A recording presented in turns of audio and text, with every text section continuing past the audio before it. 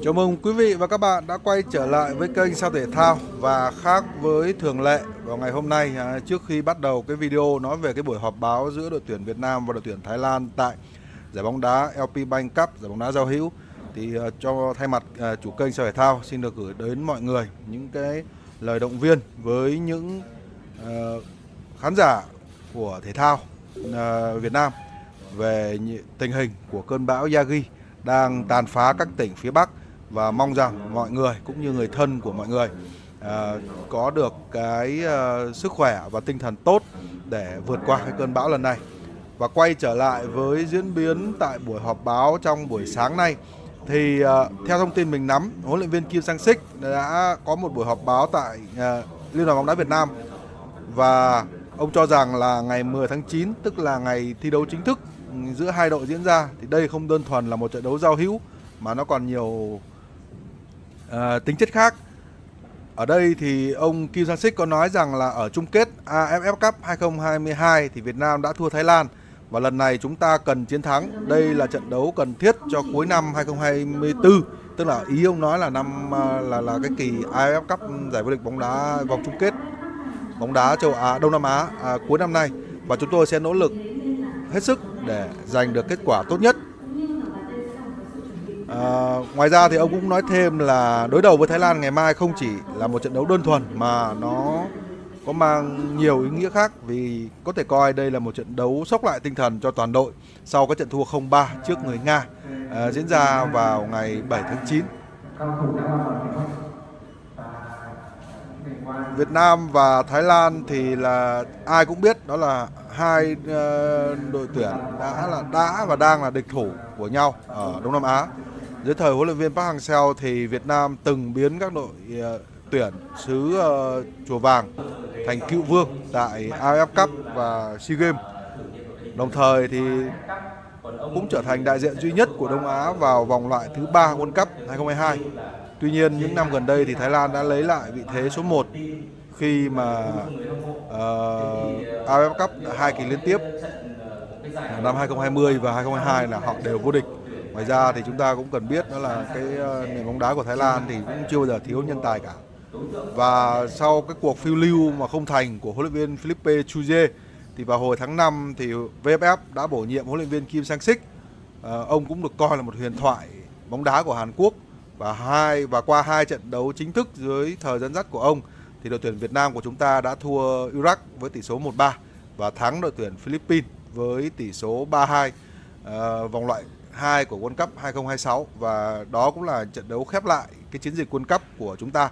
à, cho World cho cho kỳ World Cup 2026 tới đây. Sau đó thì đội tuyển Việt Nam như mọi người biết cũng đã nghỉ ờ, uh, 3 tháng và đội tuyển Việt Nam đã quay trở lại tập luyện 4 ngày trước trận đấu với đội tuyển Nga. Và đáng tiếc là chúng ta đã bị uh, để thua uh, trước đối thủ rất mạnh, phải nói là rất mạnh uh, của Nga với tỷ số là 0-3. Đáng tiếc là cơn bão uh, Yagi đã đến và đã tàn phá rất nhiều các uh, tỉnh, các khu vực ở phía Bắc. Chính vì vậy mà cái trận đấu giữa Nga và Thái Lan cũng đã không diễn ra. Đội Nga thì đã bay theo chuyên cơ và họ bắt buộc phải về nước. Chính vì vậy mà cũng chúng ta vẫn chưa có được cái thông số nào đó cụ thể để mà uh, làm thước đo cho đội tuyển Việt Nam so đối đầu với Thái Lan cả dù vậy thì uh, trong buổi họp, ngày, họp báo ngày hôm nay thì trái với mục tiêu uh, giành chiến thắng của huấn luyện viên Kim huấn luyện viên Kim Giang Sik thì với uh, huấn luyện viên của của của Thái Lan là ông người Nhật Masatada Ishii. Thì ông cho biết là Thái Lan chỉ mong muốn là thử nghiệm đội hình thể hiện ở việc mang sang Việt Nam uh, chủ yếu là các cầu thủ trẻ. Và khi được hỏi về sự khác biệt này thì huấn luyện viên Kim cho biết là Việt Nam cũng sở hữu nhiều cầu thủ trẻ tài năng như là Hai Long hay là Bùi Vĩ Hào và ông coi à, ông còn gọi thêm à, ông còn gọi à, họ là tương lai của bóng đá Việt Nam. Và tin rằng là việc mà có thêm các cầu thủ trẻ trong đội tuyển là điều tích cực với hai nền bóng đá Việt Nam và Thái Lan. Nhất là khi nó sẽ giúp cho tăng sự cạnh tranh của nền bóng đá của hai nước trong khu vực. Dù vậy thì huấn luyện viên Kim cũng hiểu về mối thâm thù trong bóng đá giữa Việt Nam và Thái Lan ông ví nó như một tương quan giữa Hàn Quốc và Nhật Bản của châu Á vậy. Đồng thời thì cũng căn dặn các cầu thủ là phải cố gắng hết sức để có kết quả tốt cho ngày thi đấu ngày mai, ngày 10 tháng 9 và kêu gọi người hâm mộ là đến sân cổ vũ cho đội nhà. Chúng ta có thể biết là ở trận đấu với đội tuyển Nga thì cái lượng khán giả không được như kỳ vọng. Chúng ta chỉ, chỉ ờ, không lấp lại được cái khán đài này nào cả và đáng tiếc là giữa hết ờ, hết hiệp 1 thì cũng đã có trận mưa lớn khiến cho cái khung cảnh ở thời điểm đó khá là điều hưu và trống vắng. Thì đó là một những cái phần chính ở trong cái buổi họp báo ngày sáng ngày hôm nay và ờ, phần còn lại là mình sẽ gửi đến với mọi người về cái buổi ờ, những cái thông tin bên lề khác thì sẽ có trong cái video này. Ờ, rất cảm ơn mọi người đã đồng hành, quan tâm đến thể thao nước nhà và nếu như ngày mai nếu như mình cứ đang ở trong Sài Gòn cũng không ở ngoài Hà Nội cho nên là mình không biết là cái ờ, sự tàn phá của cơn bão đến đâu nhưng nếu ngày mai mọi người nếu rảnh thì xin hãy đến cổ vũ cho đội tuyển Việt Nam cũng như là ủng hộ cho đội tuyển Việt Nam trước trận đấu ờ, được cho là rất quan trọng với đội tuyển Thái Lan. Chúng ta không nên để thua bởi vì là để thua thì sẽ có uh, rất nhiều những cái suy xét Ờ, có thể là trái chiều, có thể là chưa đúng lúc của người hâm mộ đối với ờ, huấn luyện viên Kim Sang Sik và sau đó thì đội tuyển Việt Nam sẽ có uh, lại chờ đợi thêm một tháng nữa. Đó là những cái đợt tập trung của ngày FIFA Day uh, vào tháng 10 và tháng 11 để trước khi uh, chốt danh sách để tham dự vòng chung kết uh, giải vô địch bóng đá Đông Nam Á năm 2024 nơi mà chúng ta sẽ có trận đấu đầu tiên trận mở màn với đội tuyển Lào ngày uh, 9 tháng 12 và sau đó thì các đối thủ tiếp theo của đội tuyển Việt Nam sẽ bao gồm là Indonesia trên sân nhà, ờ, Philippines trên sân khách và ờ, Myanmar. Cảm ơn mọi người đã quan tâm theo dõi ờ, video của kênh Sao Thể Thao và chúng ta sẽ gặp lại nhau ở trong những video tiếp theo. À, xin chào và hẹn gặp lại.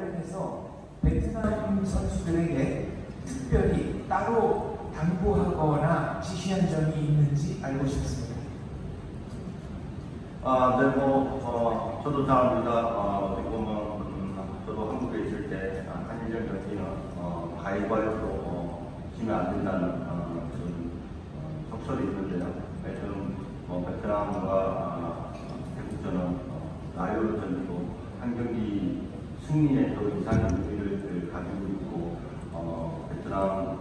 태국전 승리가 얼마나 베트남 국민들과, 아, 한국, 베트남 축구에 얼마나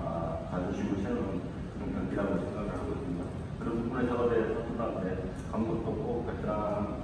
태국을 이기고 싶고 어, 또 우리 선수들도 태국성을 승리를 통해서 어, 자존심을 세워야 된다는 그런 질문을 어제 미팅을 통해서 한 바입니다.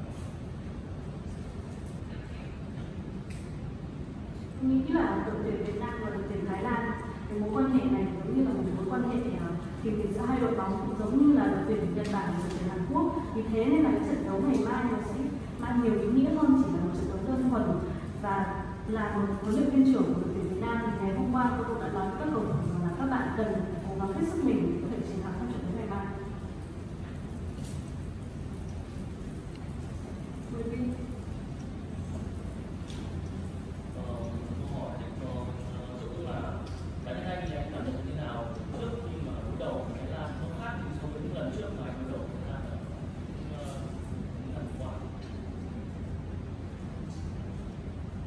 thì như tất cả đều biết thì Thái Lan mang khá nhiều cầu thủ mới thì những gương mặt này từ bản thân từ Việt Nam chưa từng đối đầu khá là lạ tuy nhiên thì à, các bạn thấy Thái Lan đó là luyện viên của họ làm việc tại Thái Lan lâu hơn rồi, họ có trải qua Asian Cup à, đội tuyển Việt Nam vẫn đang trong quá trình à, làm quen với kỹ thuật của thầy thầy Xích cho nên là đội tuyển vẫn đang cố gắng từng ngày để hoàn thiện lối chơi. Thì dù đối thủ là đội tuyển trẻ hay là hay là có cầu thủ kinh nghiệm hơn nữa thì bản thân đội tuyển Việt Nam cần cải thiện bản thân trước. Hay là đi trước khi đi đối thủ Vâng, dân sẽ điều chỉnh nhau đi cùng với sự tiếp sức của quý khán giả à, trong trận đấu ngày mai với viên trưởng của cầu thủ và đội hình nhắn nhủ với khán giả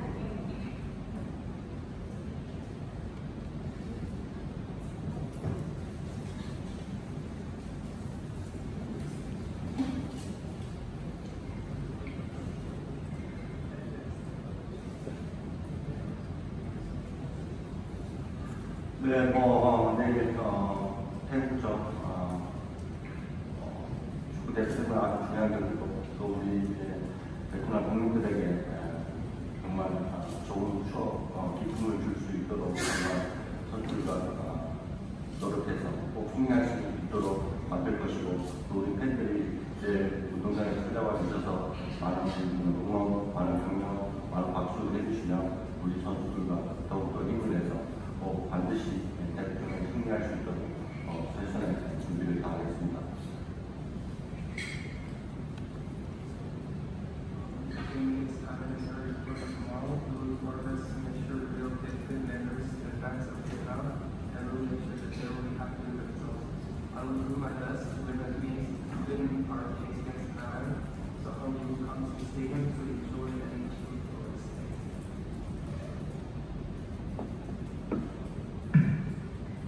đấu với đội tuyển Thái Lan là một trận đấu rất là quan trọng. Như tôi đã nói trước đó và chúng tôi cũng sẽ cố gắng hết sức mình để có thể có được kết quả tốt cũng như là mang lại những kỷ niệm đẹp cho người hâm mộ. Và tôi hy vọng rằng là người hâm mộ có thể đến sân tận hưởng trận đấu cũng như là cổ vũ cho đội tuyển Việt Nam.